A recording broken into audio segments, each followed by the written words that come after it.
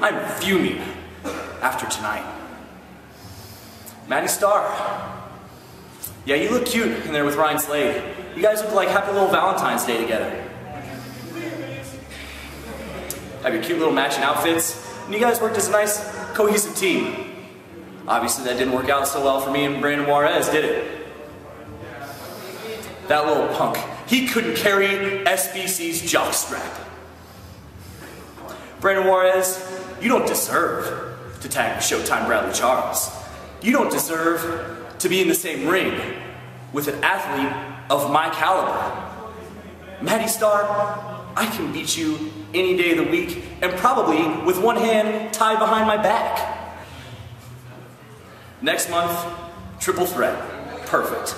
I'm gonna stand back, watch Maddie beat up Brandon, watch Brandon beat up Maddie, here comes SBC to pick up all the pieces and gather what is rightfully mine.